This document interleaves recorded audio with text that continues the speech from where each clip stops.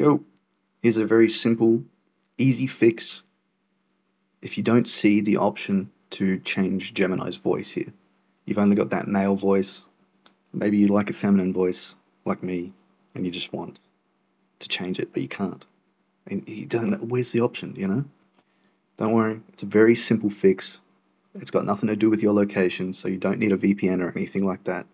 All you have to do is change your assistant's language in the settings, and I'll show you how to do that right now. So you swipe down on the home screen, swipe down again, and click the little settings button.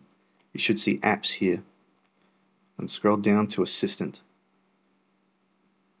And then you got languages. See how it's on English Australia? We need to change that to English US. So that's just down here. And that's it. That's all you have to do. So swipe out of it, close it, go back into Gemini, and go into settings.